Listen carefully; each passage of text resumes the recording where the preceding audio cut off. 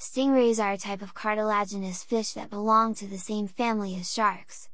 They are characterized by their flat, diamond-shaped bodies and long, whip-like tails that may have one or more barbed stingers. These barbs are sharp, pointed structures that can inject venom into their prey or predators, and can cause painful injuries to humans if stepped on or handled improperly.